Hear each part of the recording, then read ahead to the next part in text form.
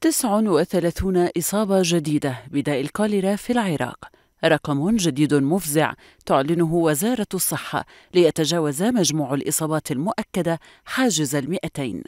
حالة وفاة وإصابات برقم ليس بالهين.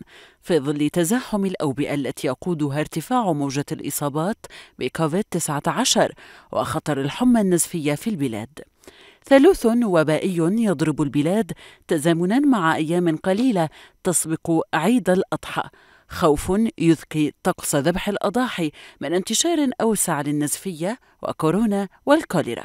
كل ذلك أمام مواجهه عملية مباشرة وهي الالتزام بالإجراءات الوقائية المتمثلة بالنظافة الشخصية وغسل اليدين جيدا بالماء والصابون ناهيك عن ضرورة الإجراءات الصحية في التعامل مع اللحوم بشتى أنواعها الصحة طمأنت الشعب العراقي بقدرتها على التعامل مع أعداد الإصابات وتوفير العلاجات والأدوية اللازمة وقدرتها الاستيعابية على تغطية القطاع الطبي للمصابين.